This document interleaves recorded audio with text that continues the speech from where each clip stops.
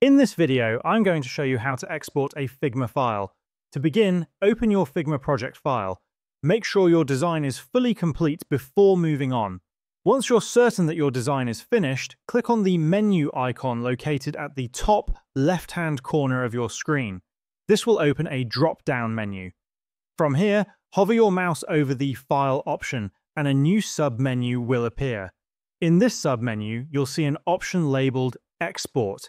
However, instead of clicking on Export, you'll want to click on the option that says Save Local Copy.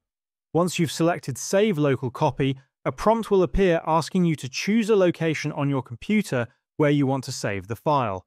Select your desired location and then click on Save. After doing this, navigate to the chosen location on your computer and you will find that your file has been successfully saved. At this point, you can easily share this file with anyone you choose. Additionally, if you wish to open the file in the future, simply double-click on it. A prompt will appear asking you to select an application. Choose Figma from here, and that's how you can export a Figma file.